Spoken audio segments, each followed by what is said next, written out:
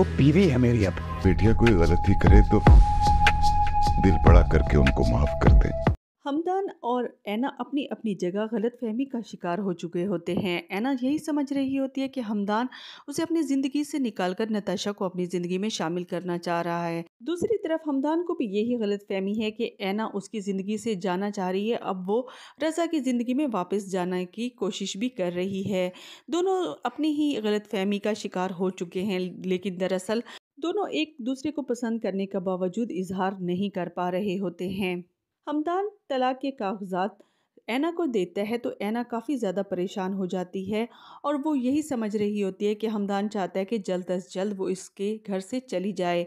दूसरी तरफ़ हमदान की भी यही कोशिश है कि वो शानजे को भी मना ले। इसीलिए वो शानजे को मनाने जब उसके घर जाएगा तो वो उसे कहेगी कि तुमने मेरे साथ ऐसा क्यों किया? तो हमदान कहेगा कि नए रिश्ते जुड़ने के साथ साथ क्या पुराने रिश्ते टूट जाते हैं? वहीं पर शानजे की माँ आ जाएगी, वो भी उसे बुरा भला कहेगी और कहेगी मेरे बेटे की छोड़ी हुई लड़की से तुमने शादी करनी थी तो हमें बता देते और वो उसे खूब बुरा भला भी कहेगी। लेकिन हमदान से ऐना के लिए ये अल्फाज बिल्कुल भी बर्दाश्त नहीं होंगे। वो उसे कहेंगे कि ऐना मेरी बीवी है और आपको उसके बारे में ऐसी बात करने का कोई भी हक नहीं है। इसीलिए वो गुस्से से वहाँ चला आएगा। शानजे की माँ कहेगी कि इसको ऐसा सबक सिखाएँगे, सब देखेंगे तो शानजे कहेगी कि वो मेरा मुजरिम है और सज़ा देने का हक भी सिर्फ़ और सिर्फ़ मुझे है।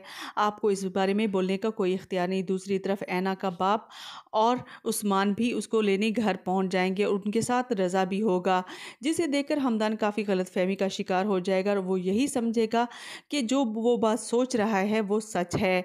दूसरी तरफ़ ऐना अपने बाप को देखकर काफ़ी ज़्यादा खुश होगी और वो हैरान होगी कि ये किस तरह हुआ है। अब आप कहेगा कि उससे बहुत बड़ी गलती हुई कि उसने उस पर शक किया, उसे ऐसा नहीं करना चाहिए था। वीडियो पसंद आए तो इसे लाइक कीजिए।